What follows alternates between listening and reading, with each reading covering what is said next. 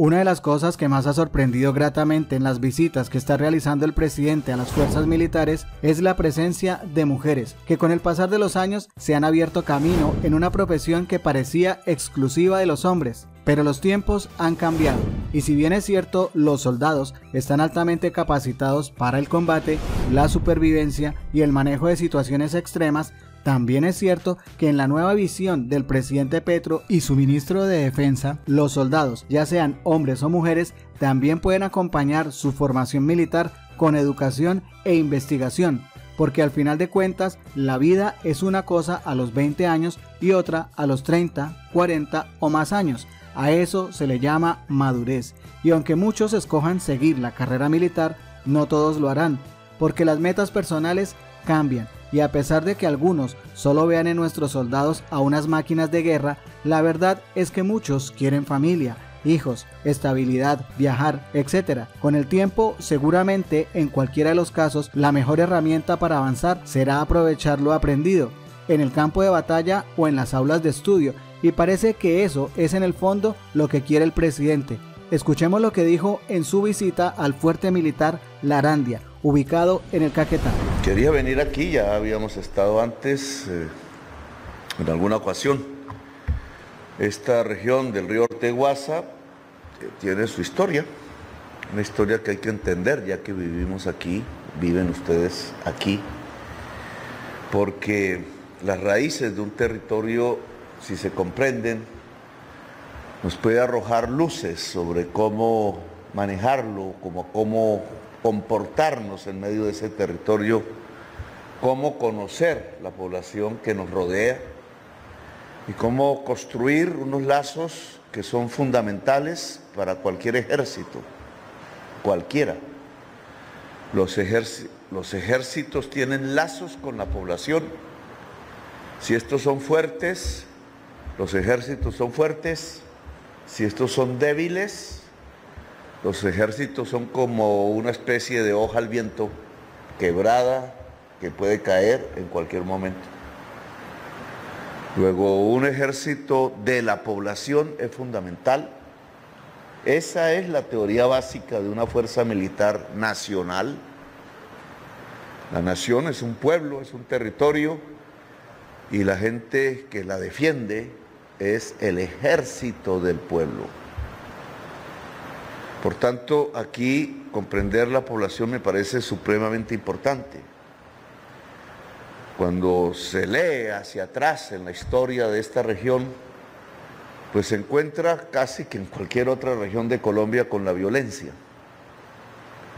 Aquí llegaron campesinos que hoy serán abuelos, quizá ya la mayoría habrán muerto, habrán dejado sus hijos, que venían huyendo de la violencia liberal conservadora de mediados del siglo XX.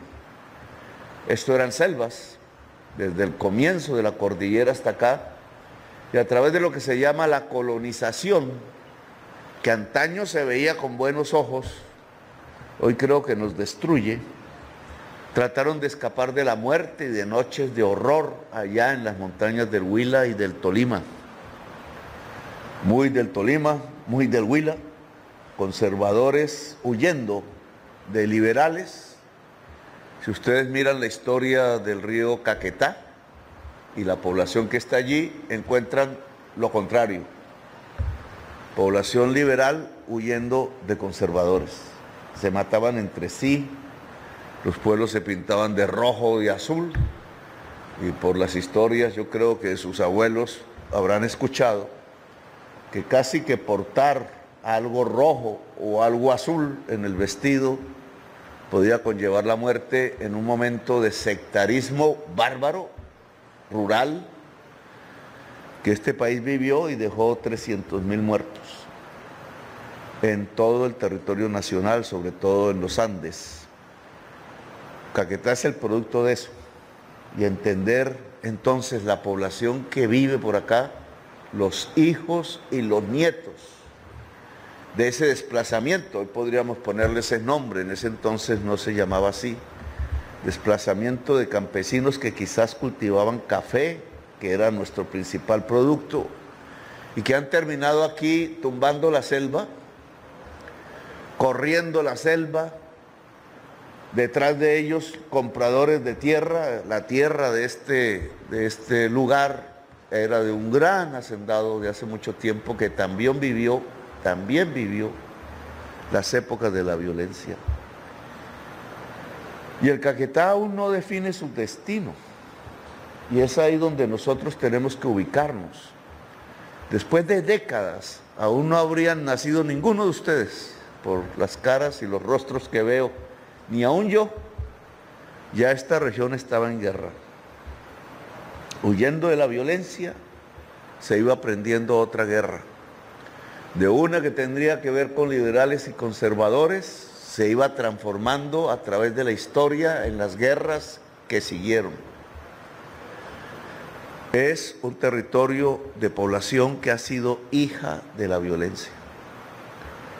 Y lo que tenemos nosotros que proponer ahora, estamos aquí, es nuestra responsabilidad, la de ustedes, la mía, en mi opinión, es la paz.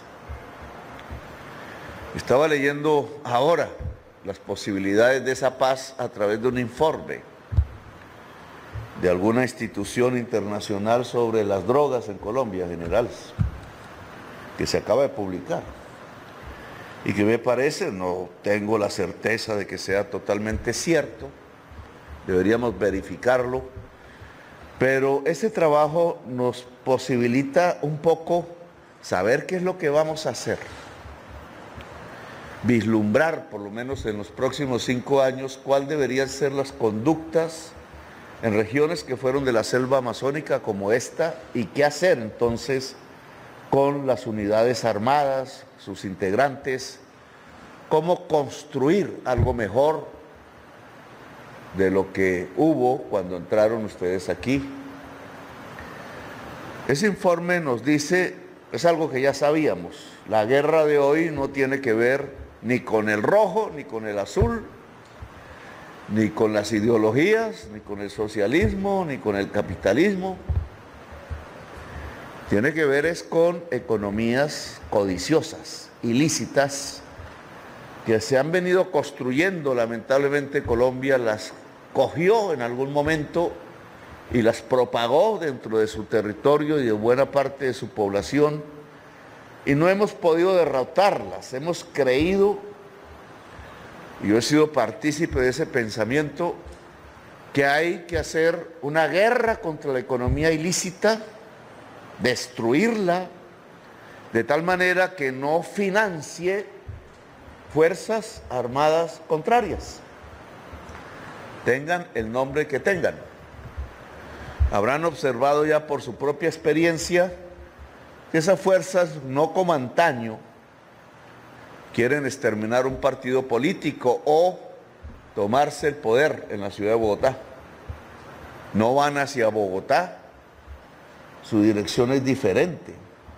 Observaba hoy una foto en un río de estos, no sabemos cuál, de alguien que la tomó seguramente de inteligencia, de uno de esos jefes de la economía ilícita, ahí está el nombre completo, Iván algo, que si le dicen Iván Mordisco en un río del Caquetá solo, o aparentemente solo, en una canoa, en una lancha. Flaco. Se nota que ha venido caminando. Se nota que viene huyendo.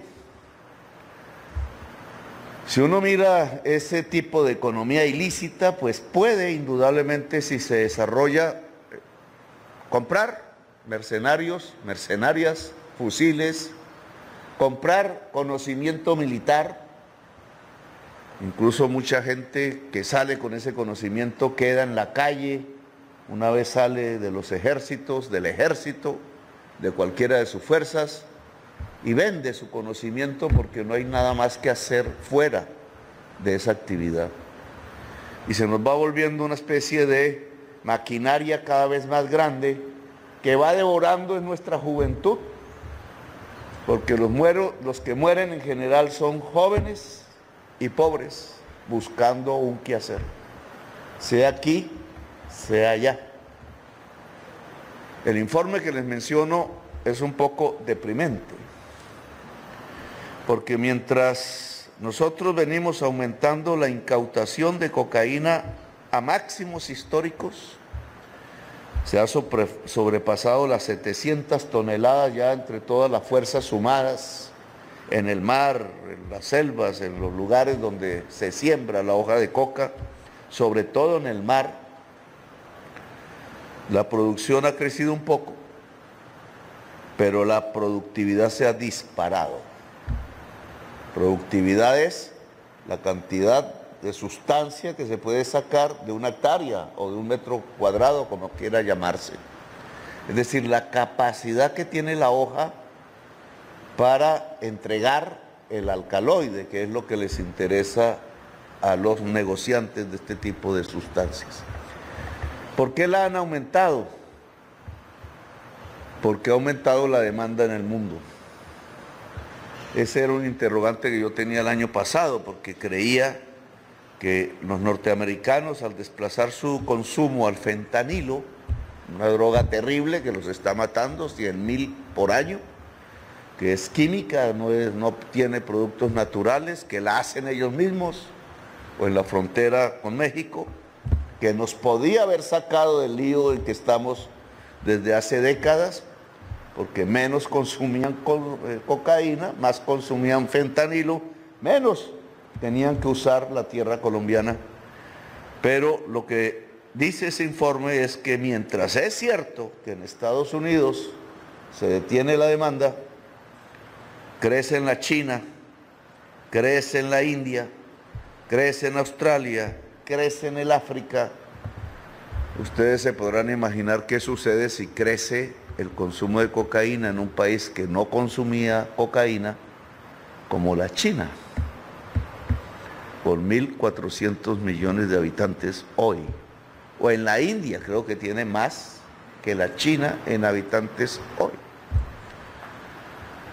Luego a mí sí me parece que esos datos, que no son culpa de nosotros, de nadie aquí, ¿qué le pasa a la sociedad china? ¿Qué le pasa a la sociedad hindú? Pues nos preocupan porque nos afectan es a nosotros.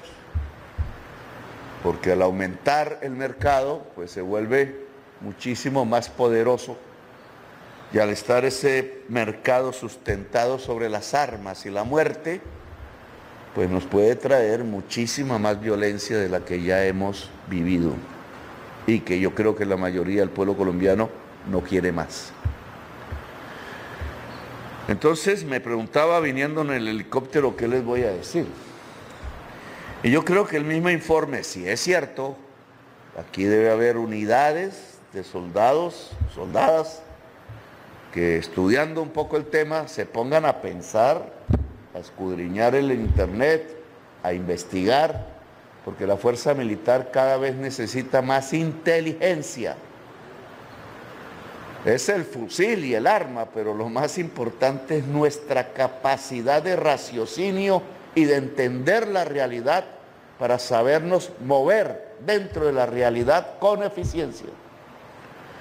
El informe dice, se concentra la economía de la cocaína en el litoral pacífico. Chocó, Nariño, eh, Cauca, algo sale hacia el Caribe, pero ahí está lo fundamental. Y va abandonando por alguna razón que deberíamos entender, no impacta tanto como allá la selva amazónica aunque sabemos que están. Pero su dimensión es menor que la que hoy tenemos en el litoral pacífico de Colombia. Yo creo que ahí hay una oportunidad y un qué hacer. Porque si aquí no es tan fuerte como si en el Pacífico, aquí tenemos que darle a la población antes que nuevos mercados, quizás en el África, o quizás en Brasil, en las grandes ciudades latinoamericanas al sur del continente, solamente ustedes miren dónde queda Sao Paulo, cuántos habitantes tiene Sao Paulo y las ciudades que están cerca allí, Buenos Aires, del lado argentino, Montevideo, Río de Janeiro, Asunción, y encontraremos que allí podría estar el mercado que podría destruir esta selva, esta región este territorio porque por los ríos se llega a Belén de Pará, preguntaba uno de sus comandantes hoy, navegando se llega a Belén de Pará, dependiendo de las fechas, y Belén de Pará es donde desemboca el Amazonas en el océano, se está en el mar, es decir, sin dar un paso desde aquí, sin caminar, sin coger un avión o algo así, solo en una embarcación con las debidas condiciones, se llega al mar. Eso podría ser buenísimo para los narcotraficantes y lo es, pero son todavía narcotraficantes relativamente débiles pero también podría ser buenísimo desde otro punto de vista. Si se aprendiese a producir en la selva, si el campesinado en vez de romper, y por ahí hay monumentos de monumentos al hacha, romper el árbol,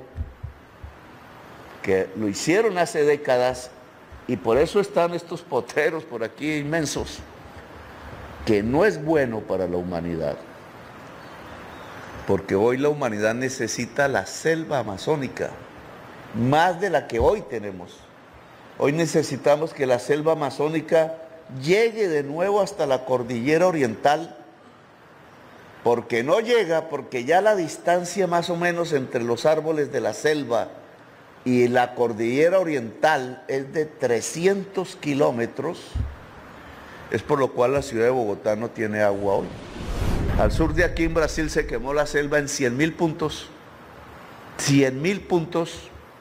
Y al sur de aquí ustedes vieron que el río Amazonas cuando pasa por Colombia se volvió un desierto, no había agua.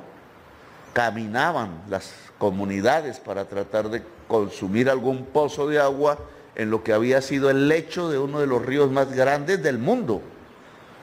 Torrentoso, navegable, como me imagino la mayoría de ustedes habrán visto en Leticia si han ido por allá.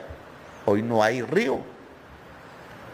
Eso no es porque sí, es porque hay una maquinaria que está acabando con la atmósfera tal como la conocíamos y nos puede destruir a todos. Y estas son las consecuencias. Para paliar, para mitigar esta posibilidad de extinción de la especie, de la vida, decíamos ayer en Cali, en la COP16, tenemos que recuperar la selva. Y como aquí hay una población, la misma, que son nietos de la violencia, ya que les contaba, y que saben armarse, y que saben pelear, y son guerreros también, y que no queremos que hagan eso, sino que podamos construir una economía de paz donde esas familias, miles y miles, puedan vivir mejor que antes, cómo compaginar el que las familias que viven al pie del río Orteguaza y al pie del río Caquetá puedan vivir mejor revitalizando la selva amazónica para bien de la humanidad. Ahí hay un objetivo, y aunque no parezca militar, es un objetivo militar porque si no lo logramos, tendremos muchísimos conflictos que derivarán en conflictos armados en el futuro en Colombia, sin que pueda yo predecir incluso las condiciones, las fuerzas, la capacidad de violencia que puede desencadenarse. Es un objetivo militar que esta base y sus comandantes y sus integrantes podamos ponerla al servicio de un nuevo equilibrio entre la población ribereña y la población de los pueblos y la posibilidad de ampliar la selva hacia la cordillera oriental. Eso se llaman productos para vender.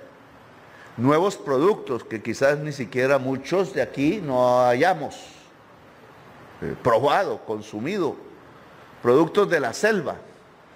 Eso significa instituciones y laboratorios estudiando cada matica y fruta de esas para ver qué efectos positivos puede tener en el ser humano, sea en la nutrición, sea en la piel, sea en las enfermedades, etcétera, o en la comida de otros animales. Eso se le llama bioeconomía.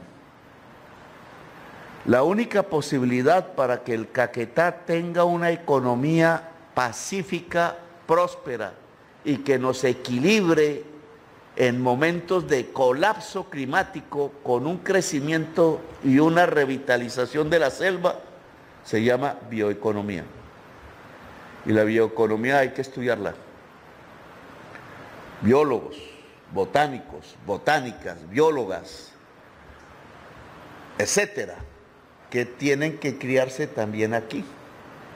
No solo en la Universidad Nacional, no solo en las universidades civiles, llamémoslas así, sino que hay que traer la universidad aquí y estudiar aquí.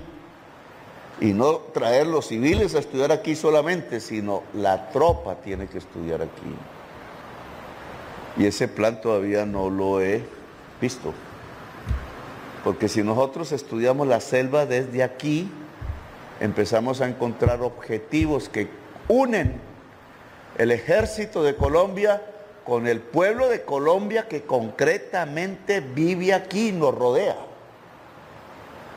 Y que si no lo sabemos hacer se puede volver enemigo o que si lo podemos hacer bien se vuelve amigo. Y entonces estos ríos, Orteguaza, Caquetá, Amazonas, Mar, en vez de llevar cocaína, que lo pueden llevar, como todos sabemos que la lleva, trayendo aquí violencia, puede llevar los productos de la bioeconomía exportados, como si fueran productos nuevos y riquísimos para el mundo y que pudiera desarrollar aquí una prosperidad. ¿Cómo desarrollar entonces una navegabilidad civil cómoda? ¿Cómo lograr que ejército y pueblo puedan construir una bioeconomía en este territorio? cómo el potrero puede ir disminuyendo y aumentando el bosque, la selva, cómo la biodiversidad animal y vegetal puede regresar a un territorio que fue prácticamente depredado, cómo se puede vivir allí con mayor riqueza, con mayor prosperidad, incluso para muchos y muchas de ustedes que cuando terminen su servicio, algunos, algunas, o incluso más adelante, no sea para quedar en la calle en una ciudad de esas duras, en los barrios, donde no se ofrece, sino usted sabe disparar, le ofrezco un puesto para disparar, matando a un compañero de nuestro mismo pueblo, a otro pobre por ahí, a una cosa que nos produzca un daño lesivo a la construcción de la patria. Poder construir incluso el futuro después del uniforme aquí, y un futuro promisorio que permita que cualquier persona, además porque todos saldremos de nuestros oficios por la edad misma, podamos seguir viviendo con dignidad, con prosperidad, que pueda tenerse hijos e hijas, sobre todo por aquí los jóvenes, que puedan vivir mejor que nosotros y que puedan estudiar lo que se les dé la gana y que puedan ser personas que quizás sean sustanciales para la construcción de Colombia en el futuro.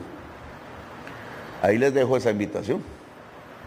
Sé que no es un mensaje muy militar que digamos, pero creo que es profundamente militar. Si las unidades aquí desplegadas en el Caquetá logramos, porque es un esfuerzo mío también, una unidad profundo con el pueblo, se vuelve estas unidades indestructibles, invencibles, y colocamos al país sobre otras ruedas diferentes a por donde va, que son las ruedas de la desintegración, de la guerra fratricida, de matarnos entre nosotros, ya ni siquiera por una idea o por una bandera, sino por una codicia, que es lo peor que puede haber en una sociedad que la codicia nos destruya a todos nosotros y a nuestra juventud, solo porque alguien quiere acumular dinero, oro, porque alguien quiere acumular cosas que además no va a vivir ni a gozar, porque en general los codiciosos cuando usan las armas terminan también muertos. Y el que le sigue termina también muerto. y entonces solo construimos una cadena de muertes que no corresponde a la inmensa explosión de vida que nos rodea a una Colombia que es en realidad una potencia mundial de la vida. Le pido a los comandantes que estudien esto. Como aquí, además de los galpones que ya hemos visto, con sus nombres y sus siglas, se puede poner una universidad para la tropa. O estudiando pues lo que nos interesa, lo que nos rodea, también la matemática, también todo eso. Cómo de aquí se puede entrar, pues, se puede salir mejor que como se entró. Cómo nos dotamos no solo para el ejército y para las funciones actuales, sino para el futuro de las condiciones para poder vivir bien, dignamente en Colombia.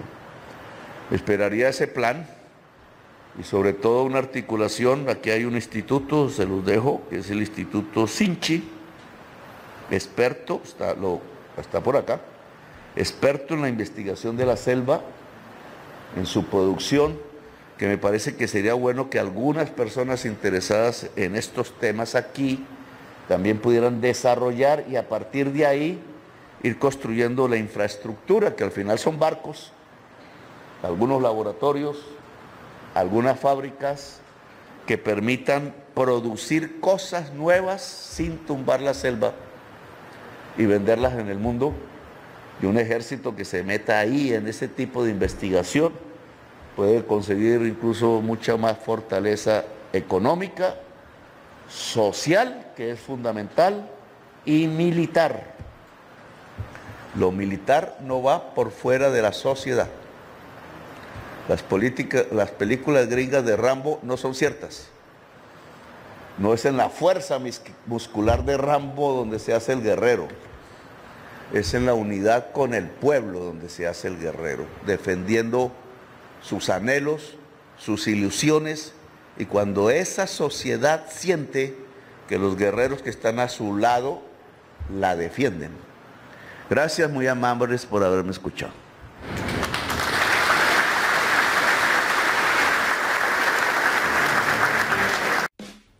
Gracias por hacer parte de la comunidad Magenta Radio. Si te gustó el video, por favor compártelo, comenta y por supuesto darle like. Nos vemos en el siguiente video.